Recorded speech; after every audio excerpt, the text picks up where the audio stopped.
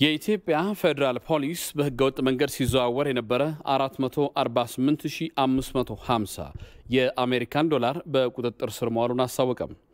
መነሻውን ከአማራ ክልል ደብረ ብርሃን ከተማ ያደረገው የሰሌዳ ቁጥር ኮድ 3 26981 ኢቲ ተሳቢ የጭነት ተሽከርካሪ ቢራ ጭኖ አዲስ አበባ ከተማ ከደረሰ በኋላ ወደ ሀረር ከተማ በማቅናት ላይ ያለ ቃሊቲ ኬላ ላይ በተደረገበት ፍተሻ አሽከርካሪውን በህገወጥ መንገድ ሲያጓጉዘው ከነበረው 448550 የአሜሪካን ዶላር ጋር በቁጥጥር ስር መዋሉን የኢትዮጵያ ፌዴራል ፖሊስ አስታውቋል።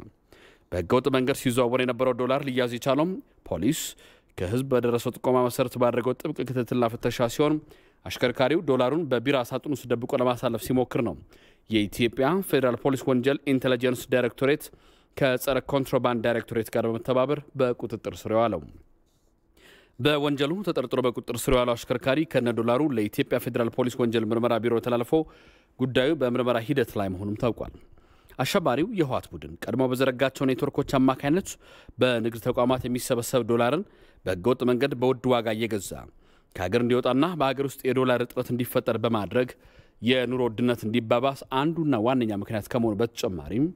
ከዚህ የሚያገኘውን ገቢ ለሽብር ተግባር ማስፈጸሚያ የፋይናንስ ምንጭ ሆኖ እንዲያገለግለው ሲሰራ መቆየቱንም መግለጻችን ይታወሳል። ይህንን ለመከላከል ፖሊስ ከሚመለከታቸው ተቋማት ጋር በመቀናጀት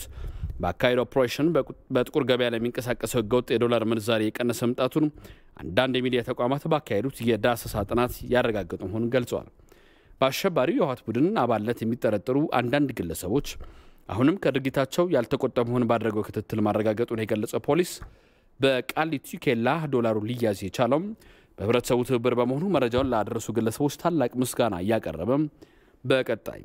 ህብረተሰቡ ተመሳሳይ ጉዳዮች ሲያጋጥሙ ከህግ አስከባሪ አካላት ጎን በመሰለፍ